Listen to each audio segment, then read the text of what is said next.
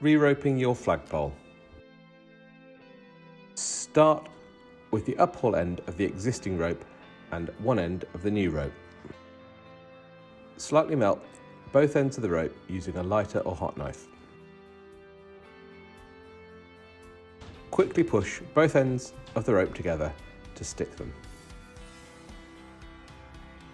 Give both ropes a pull to ensure a bond is formed successfully.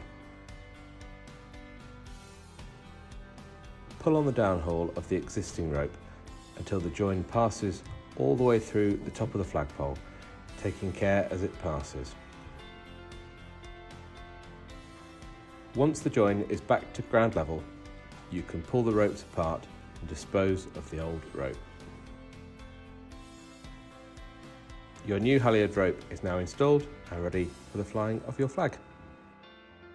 For more advice, please contact our experts today.